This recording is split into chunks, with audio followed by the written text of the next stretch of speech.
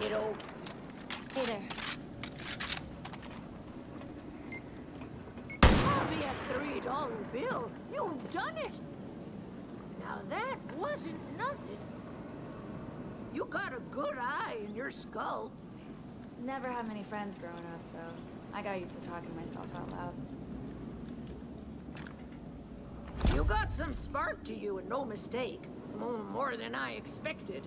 And when there's too much spark, oh, that's how you get wildfires. Hmm, how about we try something trickier? After all, balloons and helmets don't shoot back, now do they? oh, try this one on for size.